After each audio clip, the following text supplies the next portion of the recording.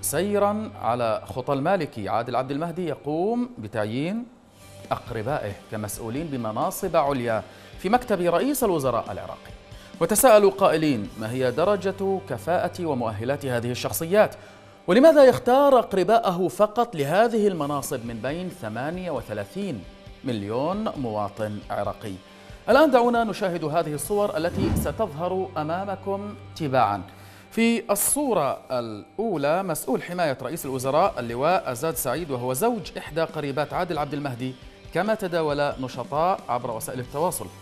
في الصورة الثانية سكرتير عام رئيس الوزراء محمد مهند وهو ابن أخت عادل عبد المهدي الذي يظهر أمامكم.